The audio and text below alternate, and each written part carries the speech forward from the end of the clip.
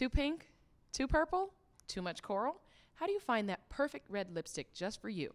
We'll find out next when we come back.